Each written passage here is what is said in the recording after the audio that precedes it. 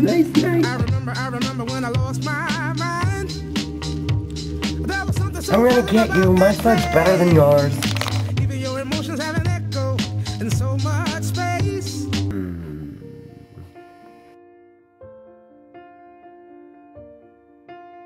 Donnie, I need your sled.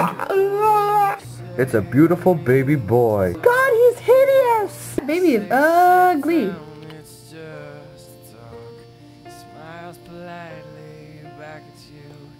Paul was premature by some 80 days, as well as Dr. McCausland could determine.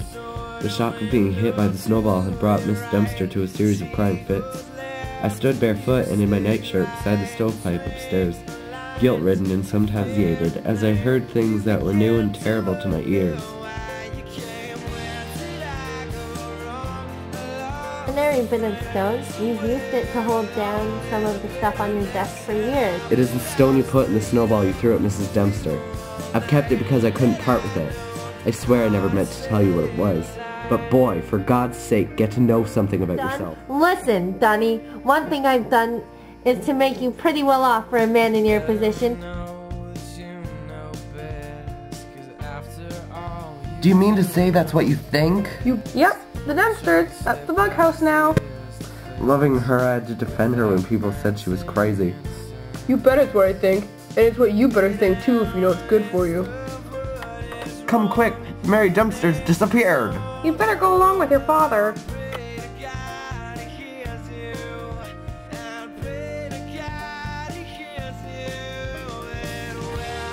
Mary? Mary? you.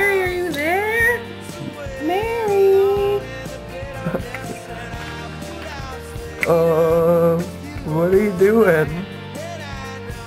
Why'd you do it, Mary?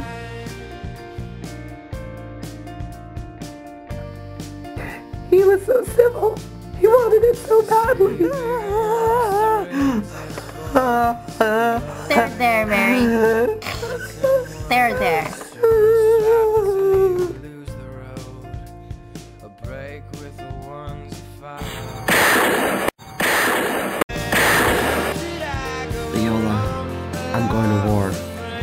My best efforts to keep Percy bright in my heart, I've discovered that I love you.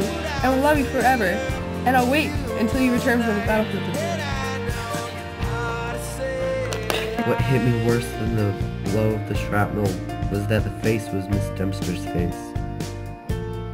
As he begins to raise his voice, you lower it. And now I will perform my latest magic trick because I am magic.